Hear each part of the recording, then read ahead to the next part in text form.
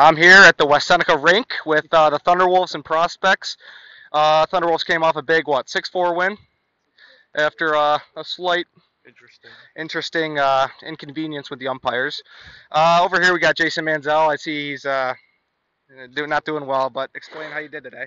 not good, not good. Uh, that game, I, I had a fine game this morning. I, I, I thought I did fine behind the plate, block balls, threw a kid out, but you know, um, yeah, touchdown was throwing good today. Uh, come back tomorrow. Hopefully, we get in the top bracket and uh, uh, work from the eight seed up.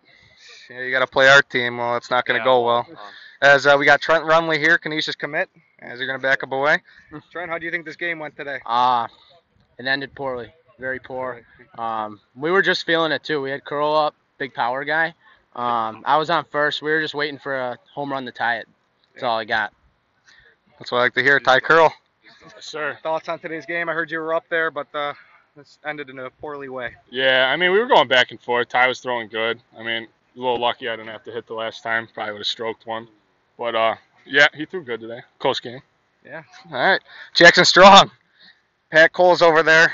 Morning over there. He's uh still watching the ball go over the fence as Jackson's. Oh, yeah. Jackson's over there. Nah, explain, I wouldn't. I wouldn't say Explain that. what happened.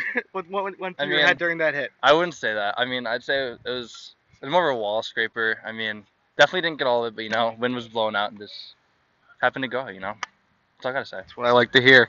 Tyshawn pitching a gem on the mound today. We're glad we don't have to face him tomorrow. Tyshawn, what went through your head the whole entire Uh, game when you were on the mound? A little rough in the first inning, you know. Had to settle down, you know. Excited to pitch against these guys. Half of them go to my school, so yeah. But other than that, had to trust my defense, and after that, yeah, shit happened. All right, Stilly.